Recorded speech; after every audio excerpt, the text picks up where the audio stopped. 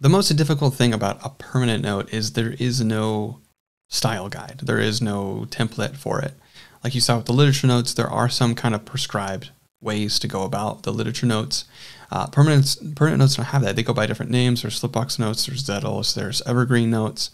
All of these are different attempts to kind of create a structure around the permanent note. What you want to keep in mind when you're writing permanent notes is that they should be the result of your own thinking, and how you do that is to go through the process of elaboration. Elaboration means to expand on and connect an idea. Uh, as a result, you know, new relationships will form uh, between existing ideas and the new idea that you had. But to do that, you need to abstract out the idea from the material so that it no longer needs its supporting context uh, in the literature that you consume from. So abstraction is the process from taking an idea from its original text and making it usable in a more general sense.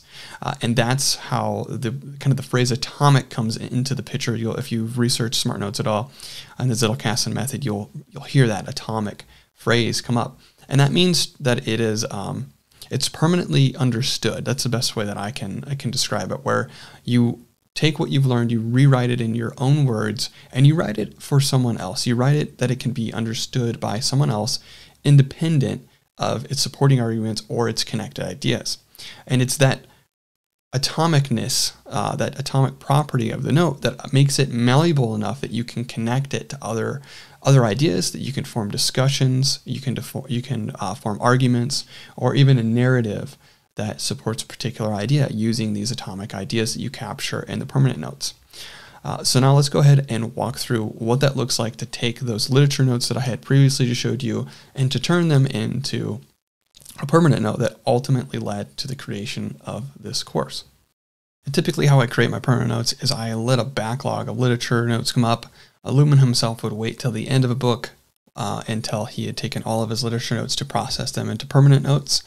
And I follow very much a very similar approach. And the reason is you have a way better idea of everything in that book and how to organize the knowledge after you've taken it instead of trying to constantly just pull new information in as you see fit. So fully consuming a piece of literature uh, and then translating it and, and batching it essentially in these different phases where you're reading and taking notes, literature notes, then you're batching the, the process of taking the you know translating the literature notes into permanent notes and then the next step which we'll talk about in the next video is adding them into the knowledge base or your slipbox so we'll just assume you know that I've got all the literature notes that I that I'm happy with and how to take smart notes. And these three are the literature notes that we had uh, just took in the last video. So what I typically do here is as I go through I'll highlight so in Obsidian there's this double equal sign that you can use around text that will highlight it. And so if you do the preview, you will see that it stays there and it just puts a nice yellow highlight over it. When there gets to be a lot of them in here, um, it gets kind of difficult to focus on which one that you're looking at. And so I use that as a tactic to help. So what I then do is I click, um, I create a new permanent note. We already had a placeholder one in here that I will just open in a new panel. Again, if you wanted to create a new one uh, with a different timestamp, you just create, uh, click the create new a note. So then it's at this point where I think about this literature note and think about in the context of the book that I read and how would I abstract this out into an atomic idea by kind of elaborating on it so it could connect to other ideas. Um, now this is pretty you know specific to to smart notes and writing notes uh, because it, it is pertaining to that particular topic. Um, and so if I were to think about this so, in uh, thinking about this literature note, I would say that writing is a process of abstracting ideas from its original context. Uh, and by abstracting an idea, you make it usable in a general sense and instead of a specific sense. And then typically, what I'll do at the end is I will put a link to the notes and then I'll add actually a page number in there. This is just something for me so I don't have to go ping pong back and through between literature notes and permanent notes. Uh, and it makes a cool little graph as you start like, oh, here's all the notes that, I, that uh, kind of made up all this. The other thing you could do in your literature note, instead of highlighting it, is you could link it in here. And this would do the same thing as what this is. Um, it just would be visible on the literature note versus in the permanent note.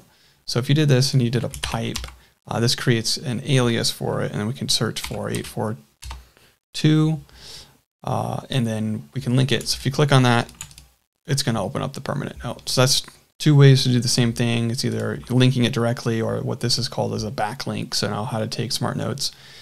Literature note is a backlink to this. So whichever one you want to do. So I'll go ahead and turn the other two literature notes into permanent notes, and then we'll walk through adding them to the slipbox.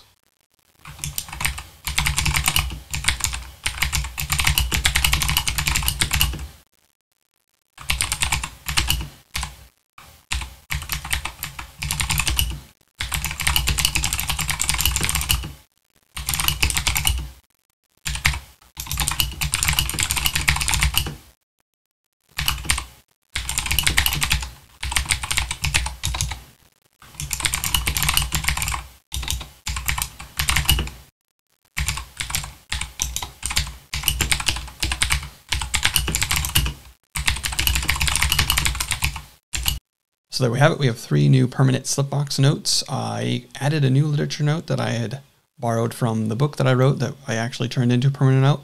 Turns out that I never expanded on this use usage of the slipbox trains effective thinking uh, into a permanent note inside of my uh, Obsidian Vault. So I decided to add another literature note. And that's the key point is like not every single literature note that you put down or fleeting note that you put down should turn into a permanent note because it does take some time. So with that, uh, we'll come to the conclusion here with writing the three different types of notes, and we'll move now into adding them into the slipbox and actually building that lattice work uh, that is your knowledge base in Obsidian.